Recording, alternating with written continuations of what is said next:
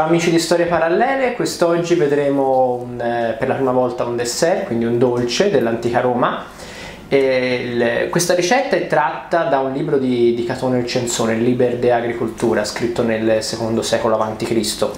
Quindi è una ricetta ancora di età repubblicana, eh, ad opera di un autore che era molto legato in realtà alle tradizioni del Mos Maiorum romano, quindi molto legato a quella che era la, la politica conservatrice del, dell'età romana, quindi molto legato ai valori tradizionali romani e dell'antichità. Ad esempio lui era un oppositore del circolo degli scipionici che era invece legato più alle culture ellenizzanti.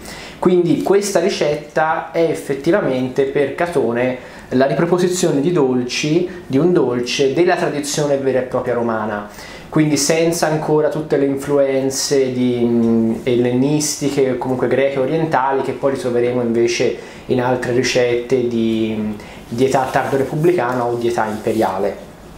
E eh, questi globi ora Samuele ci illustrerà esatto. eh, gli ingredienti.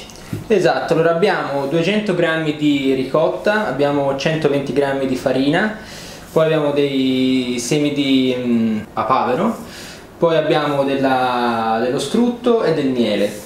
Allora, nella ricetta eh, dicono che comunque hanno le solite dosi, sia la ricotta sia la farina. Io vi propongo di metterla eh, del 60% del peso della ricotta, quindi 120 e 200 perché abbiamo sperimentato no, con Leo sì esatto abbiamo provato comunque... precedentemente e altrimenti l'impasto risultava esatto, troppo, troppo, farinoso. troppo farinoso quindi procediamo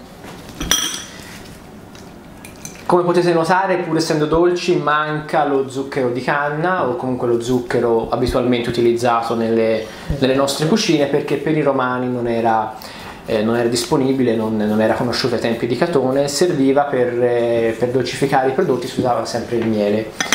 Eh, che veniva appunto utilizzato in dosi anche molto abbondanti, quindi potete abbondare sul miele tra l'altro altro consiglio, a volte qua in realtà non è riportato da, da Catone stesso, però in altre ricette romane sappiamo che eh, spesso si tendeva a forellare, giusto Samuele, a esatto. questi prodotti per poi appunto far colare il miele in maniera che entrasse all'interno e facesse un effetto simile a quello che per noi è lo zucchero nell'impasto. Esatto. Un altro consiglio che vi do è quello di guardare sempre eh, la ricotta, nel senso che se è, se è, troppo morbida logicamente ci vorrà un 10% in più di farina eh, se invece tende a essere un po' più eh, dura logicamente ne andrà un, leggermente un po' meno. Comunque le dosi sono, sono queste. Quando abbiamo finito di impastare andiamo a fare le palline. Allora possiamo aiutarci con un po' di acqua ci bagniamo leggermente le mani e andiamo a fare delle palline di circa 10-15 grammi ora questo è il motivo per cui noi ci vogliamo di un cuoco perché vedrete la differenza tra le mie palline e le sue pallina, pallina, pallina, pallina. Catone all'interno della sua opera dice che le dimensioni possono essere scelte, insomma, mm, lascia libera scelta sulle dimensioni, farle delle dimensioni che uno vuole. Noi consigliamo appunto piccole, una sorta di piccole colpettine, sì, sì, piccoli sì. globi. Andiamo a friggere le palline nel, nello strutto, portato a temperatura di frittura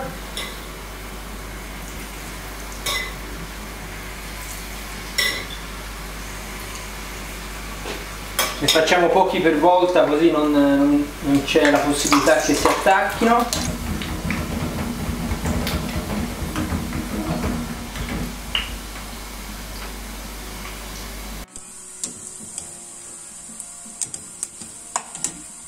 Una volta dorate possiamo andarle ad asciugare e poi andiamo a immergerle nel miele se avete un miele un po' duro potete metterlo in microonde 10-20 secondi così da glassare le nostre palline.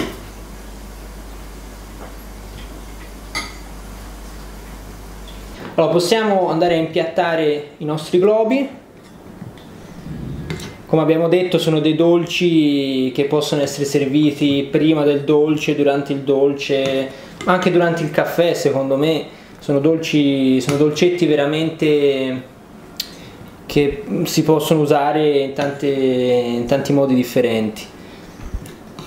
È possibile anche che riscontriate delle similitudini con dolci ancora oggi preparati e utilizzati in Italia, mi vengono in mente alcuni dolci di, di carnevale esatto. di varie regioni italiane, quindi eh, se, se, siete abituati a vedere dolci simili, fa, simili fatecelo sapere nel, nei commenti perché sarebbe appunto molto carino vedere se ci sono ancora dei collegamenti tra queste esatto. ricette romane e quelle delle tradizionali feste italiane regionali al giorno d'oggi. Esatto, andiamo a mettere i nostri semini di papavero i nostri globi sono pronti come abbiamo detto possono essere utilizzati in tantissime maniere. I nostri globi sono pronti. Che facciamo? li proviamo Leo? Sì, li andiamo a assaggiare. Voilà, andiamo a provarli. Ecco, altra caratteristica di questi dolcetti è che non sono lievitati, nella ricetta di Catone non è previsto, potrebbe essere una variante da, da provare anche. Sicuramente, eh, vi consiglio anche di farli lievitati se avete voglia, ma secondo me sono ottimi anche così.